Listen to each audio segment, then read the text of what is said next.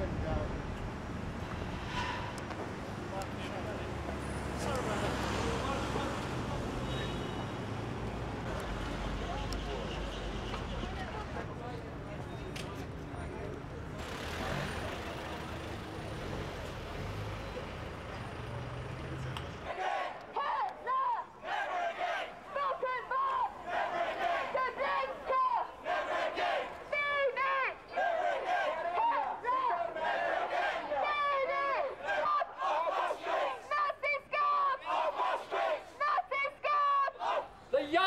people here today say again, fascism will not pass, fascism will have no place in Europe, Fini, go home.